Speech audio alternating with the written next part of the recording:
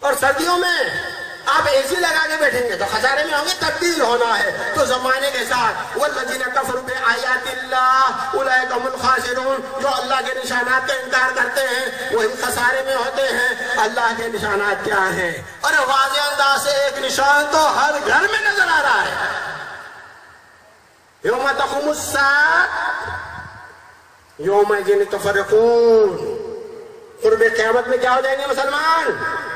فرقہ فرقہ ہو جائیں گے۔ اتنا بڑا نشان نظر آ رہا ہے۔ مسلمان امت جو دنیا کو ایک کرنے آئی تھی، بہتر فرقوں میں تقسیم ہو گئی۔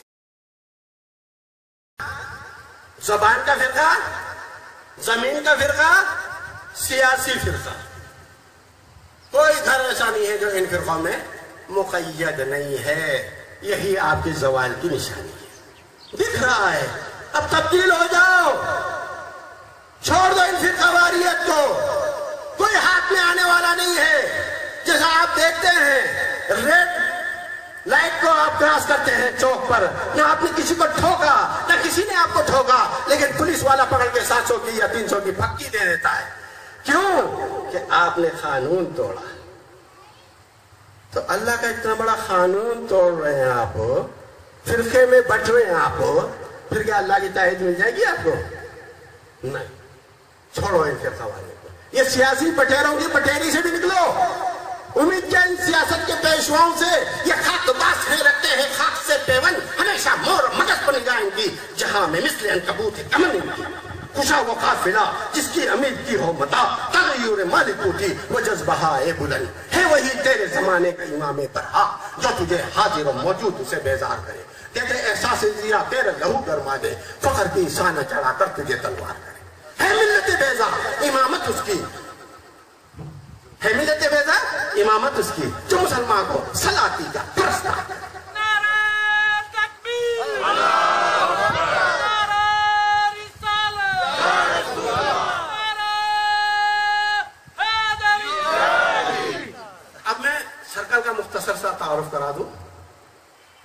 تو میں نے دوسری آیات آپ کے سامنے تلاوت کی، تلک الایام القابل بین الناس۔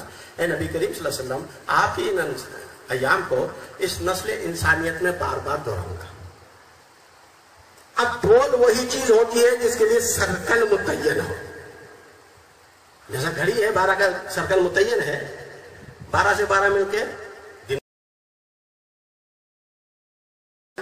مہینوں سے سال، سالوں سے صدی۔ سرکل بارہ کا۔ اس لیے حضور نبی کریم صلی اللہ علیہ وسلم نے ایک سرکل متعین کر دیا چودہ سو سال کا۔ اس لیے سیاستہ کی جتنے احادیث ہیں، پندرہویں، سولہویں، سترہویں، اٹھارہویں، انیسویں، صدی کا کوئی آپ کو تذکرہ نہیں ملے گا۔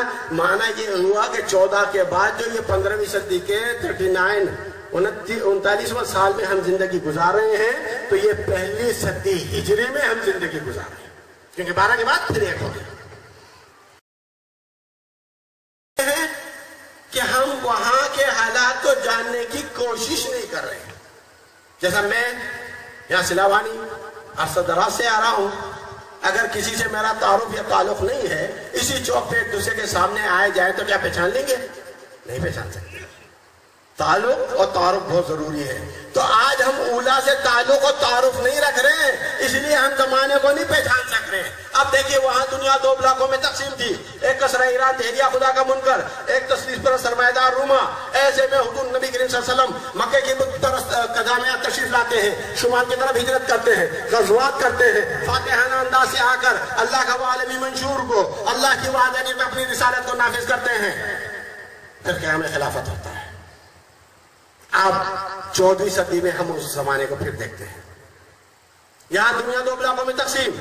وہاں کسرہ ایران دے دیا یہاں روس دے دیا وہاں روما تصویر پر سرمایہ دار یہاں امریکہ تصویر پر سرمایہ دار وہاں ظاہر الفساد فی البر اور بحر خشکی و تری میں فساد، یہاں پر بھی فسادی فساد، وہاں پر پتکدا عرب تھا، یہاں پتکدا ہند ہے، وہاں حضور نبی کریم صلی اللہ علیہ وسلم نے تبلیغ اسلام کی، یہاں آل محمد علیہ دہلی کرم اللہ علیہ نے تبلیغ اسلام کی، جس کے نتیجے میں ایک کروڑ مسلمان نظر آ رہے ہیں، ایک وقت آیا مسلمانوں کا دماغ خراب ہوا، لے کے رہیں گے پاکستان بٹ کے رہے گا ہندوستان، پاکستان کا مطلب کیا؟ لا الہ الا اللہ۔ تو وہاں پر بھی مکے سے شمال کی طرف مدینہ طیب کو ہجرت ہوئی تھی۔ یہاں پر بھی ہند سے شمال کی طرف پاکستان کو ہجرت ہوئی ہے۔ مدینہ طیب کے معنی پاک سے پاکستان کے معنی پاک میں کی جگہ۔ وہاں حضور نبی کریم صلی اللہ علیہ وسلم کا نفس نفیس موجود ہے۔ یہاں حضور نبی کریم صلی اللہ علیہ وسلم کی روحانی خود سی طاقت کام کر رہی ہے۔ میم کے چالیس ہے کے آٹھ، میم کے چالیس ڈال کے چار۔ جمع کرو۔ چالیس چالیس، اسی، آٹھ، اٹھاسی اور چار بہانوے محمد صلی اللہ علیہ وسلم کا اسم مبارک ہے ابجد بہانوے تو یہاں سرکار کی روحانی خود سی طاقت کام کر رہی ہے۔ ارے ایک بات سمجھ گیا وہ کہہ رہے کھول آئے فلک دیکھ فضا دیکھ زمین دیکھ مشرق سے اپٹے ہوئے سورج کو ذرا دیکھ۔ ارے سورج کون؟ سراج منیرہ حضور نبی کریم صلی اللہ علیہ وسلم کی ذات اقدس ہے جو فرات کی چوٹی سے نمودار ہوئی تھی اس مرتبہ پاکستان سے نمودار ہوئی۔ تھی ارے مشرق کیوں بولا اقبال مشرق کیوں بولا؟ ارے آپ جب نماز پڑھتے ہو، مغرب کی طرف منہ کرتے ہیں، تو مغرب کے معنی عرب آپ سے مغرب کی طرف ہے تو عرب سے آپ اس لیے مشرق کا کہا، یہاں سے طلوع ہونا ہے وہ سورج، وہاں سرکار دو صلی اللہ علیہ وسلم تشریف لائے، تکمیل کائنات ہو کلام دیا لینت القدر میں دیا۔ اسی طرح جب اعادے کا دور آیا تکمیل کا مراحل طے کر کر اسلامستان بنانے کے لیے، یہ کفرستان کو مٹانے کے لیے، تو تحفے میں پاکستان دیا لینت القدر کی دو ہی برکات ہیں ایک چودہ سو سال پہلے قرآن، ایک چودہ سال کے بعد پاکستان۔ اب وہاں ہم دیکھتے ہیں کیا غزوہ بدر ہو رہا ہے صحابہ کرام رضی اللہ عنہ پر ظاہرہ بات کوئی نہیں ہے۔ کسی شاعر نے کیا خوب کہا؟ کہ جن کے پاس دو گھوڑے، چھ ذرے آٹھ شمشیریں پلٹنے آئے تھے وہ لوگ، دنیا بھر کی تقدیریں نہ تیر و ترک پر تکیا نہ خنجر پر نہ بھالے پر۔ بھروسہ تھا تو ایک سادی سی کالی کملی والے پر۔ وہ کامیاب تھے۔ یہاں اڑتالیس میں آپ کے پاس کوئی ظاہر اسباب نہیں تھے۔ دفاتر میں ببل کے کانٹے لگاتے تھے لیکن اللہ نے آپ کو فتح دی۔ وہاں پر ہم دیکھتے ہیں، خندق کھوپ کر مدینہ کا دفاع کیا گیا۔ یہاں ہم دیکھتے ہیں، پینسٹھ کی جنگ میں آرمی کے جوانوں نے گڈے کھوپ کر بارود لگا کر ٹینکوں کو اڑایا۔ پاکستان کا دفاع کیا۔ وہاں پر بھی فتح ہوئی، یہاں پر بھی فتح ہوئی۔ ہم وہاں دیکھتے ہیں، غزوہ احد میں حضور نبی کریم صلی اللہ علیہ وسلم نے فرمایا، اس گھاٹی سے فتح ہو یا شکست ہو ہچنا نہیں ہے۔ لیکن جب فتح کے آثار نظر آئے، چند صحابہ وہاں سے ہٹ گئے۔ جس کی وجہ سے کفار نے پلٹ کر حملہ کیا۔ عظیم صحابہ کی شہادتیں ہوئی۔ اور حضور نبی کریم صلی اللہ علیہ وسلم کے دندان مبارک شہید ہو گئے۔ یہاں ہمارے غفلت، کوتاہی، لاپرواہی سے مشرقی بازو کاٹ گئی وہاں ہم دیکھتے ہیں ایک مارکا ہو رہا مارے گئے خیبر کہتے ہیں۔ یہودیوں کے لشکر کو جھڑے پہ بہت ڈال کر نکالا، دفع کیا۔ اسی طرح آج خیبر کی گا چل رہا ہے۔ یہودیوں کا لشکر ہے جو دہشت گردی کے نام پر یہاں موجود ہے۔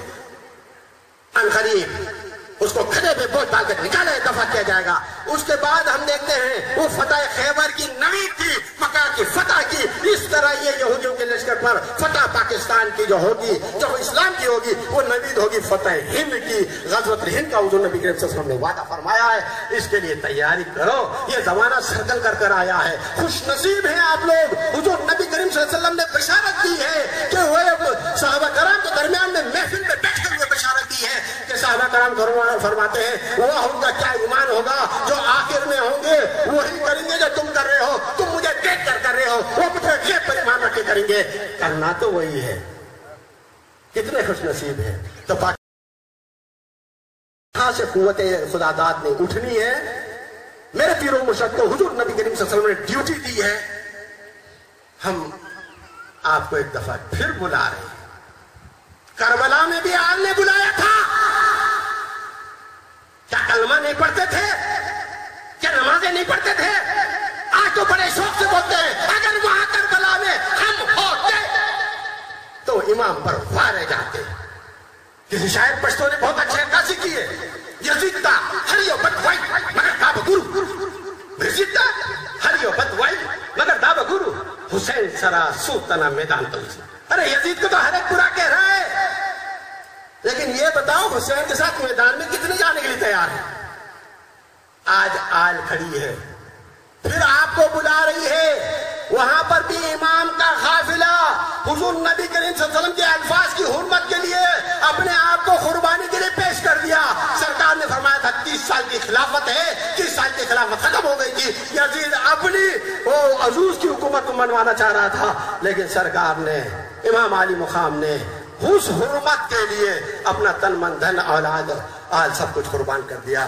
آج بھی ایک ہی بات کے لیے آل کھڑی ہے۔ وہ بھی وعدہ میرے اور آپ کے آقا کا ہے۔ وعدنا رسول صلی اللہ علیہ وسلم فی الہند۔ غزوۃ الہند کے وعدے کے لیے کھڑی ہے۔ ارے کلمہ آپ بھی پڑھ رہے ہیں۔ کلمہ میں